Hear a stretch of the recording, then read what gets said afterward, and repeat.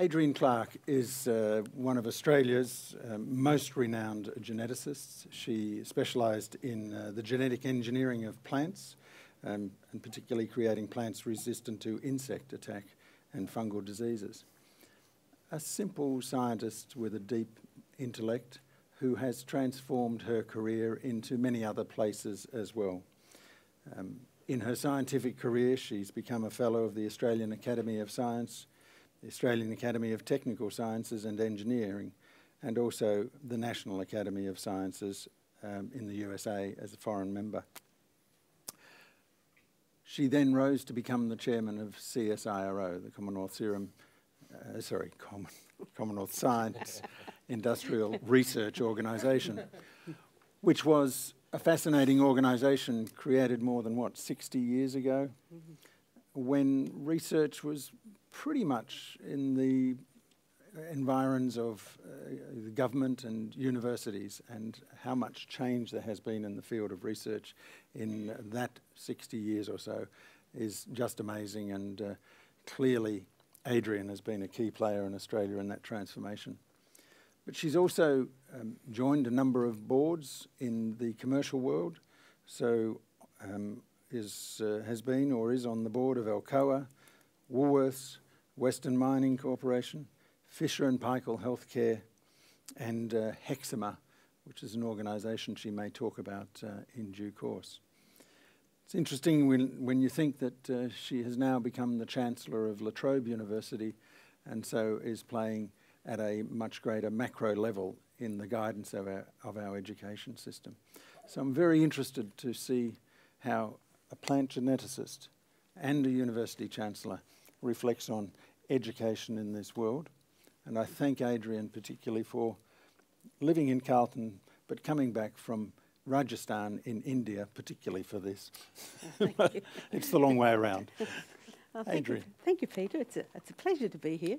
And I really can't say very much about primary school education, although I do see the grandchildren. And I must say that I think the school's quite innovative. I asked, before I get onto my real theme, so I asked the little six-year-old what, what was she, what was her favourite topic today? She said, I liked philosophy best. I said, oh, what, what did you do in philosophy? Oh, she said, we talked about what was right and what was wrong. I said, oh, good. The next day I asked her what she what what had she done. She said we studied biodiversity. I said, really? I said, what did you do? She said, we planted carrots and peas and we're watching and measuring how they're growing and how they respond to light. so I have to say that they're, they're quite innovative, uh, but I have a very limited uh, experience there. I have a much more, um, a much broader experience at teaching right at the high level, the uh, graduate students, uh, both at Melbourne University and other universities, and I think they're amazingly innovative. But what I thought I'd do today is explain the story of an innovation that I was involved with and um, bring out some of the essential features of innovation and creativity in this context. Now, I've just looked at the list of people. I know I'm not talking I'm talking mainly to non-scientists. So the few scientists, please, please accept my apologies for being very simplistic.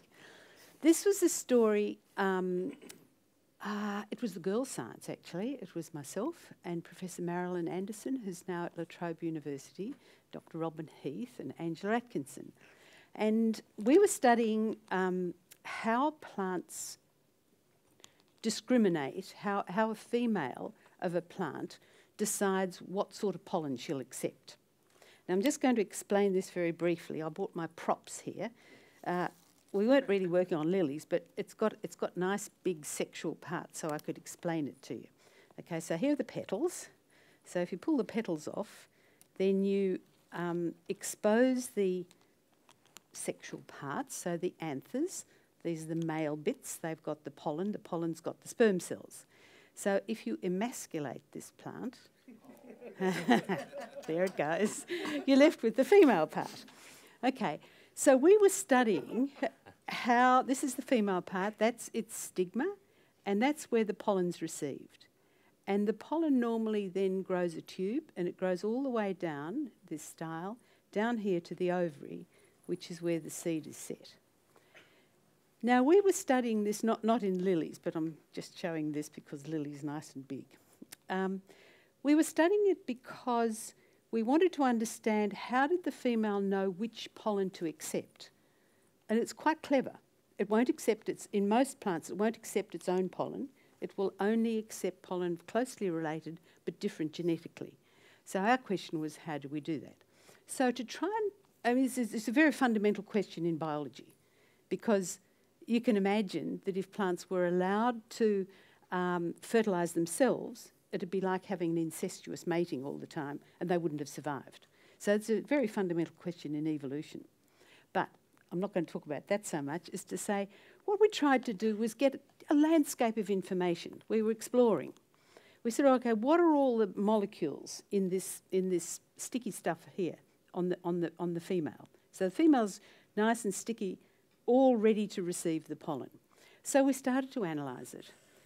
And to our surprise, we came up with just two molecules which really dominated, two proteins that really dominated. We said, wow, why is it so? Why would the female be making all this stuff, putting all its energy into making these two particular molecules? Hmm, why is it so? So we used the technology of the day, uh, which is to isolate those molecules, sequence them, so get the protein sequence, and put the sequence into the data banks, and also isolated the appropriate genes and put that, those molecules into the data banks. What came back, they said, wow, this is, one is a protein, well, I won't explain too much, but one is a, a molecule to do with digestion in, in insects and people, and the other is a molecule to do with defending against various things. How I said, now why would the female be doing that? So we sat, I can remember we sat, Marilyn Anderson uh, and Robin and I sat and we pondered on this. We said, well, isn't this interesting? You in, the, in the field, you know, in the garden, if you ever look at your plants, you never see the female being attacked by insects or being uh, overrun by fungi or bacteria. It's always pristine. Uh, and we put these two bits of knowledge together and we thought, hmm, perhaps these molecules are there to protect the female from being attacked by insects and being attacked by fungi and bacteria because her main role is one, get the best sperm, and two, protect her eggs. So she has to have all the protective molecules around her. Huh, we said, well, okay, there's a hypothesis. So the next thing you do is test it. So we said, all right, here's our hypothesis. The hypothesis is that these molecules that are present here right on the surface of this really sticky, sweet um, stigma that you would think would be delicious for insects and would be just the right thing for fungi. It's to protect them. How will we test it? So what we did was we, we took a, a flower, not a lily, but we were working with a, a, a tobacco flower, and we just put some fungi on it. And what happened was that all the, the petals just drooped and became brown, and the anthers didn't do too well, but the stigma, even although we really layered it with a lot of fungi, stayed there pristine. So that was a really good start. So then what we did was isolate the molecules, and then we tested them against various different fungi. And they killed certain fungi at certain concentrations, and they didn't kill others. So then we refined our hypothesis and said, okay, it looks as though they are only attacking the fungi that grow in filaments, that grow in long tubes, that grow from a, uh, go from a point. So then we tested that hypothesis, and then we refined it, and then we said, um, okay, if we can isolate this and we can transfer that gene to another plant, will it become resistant to fungi?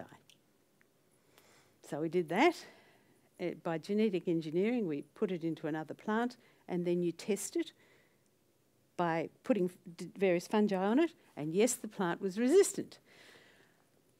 And so then the rest is history.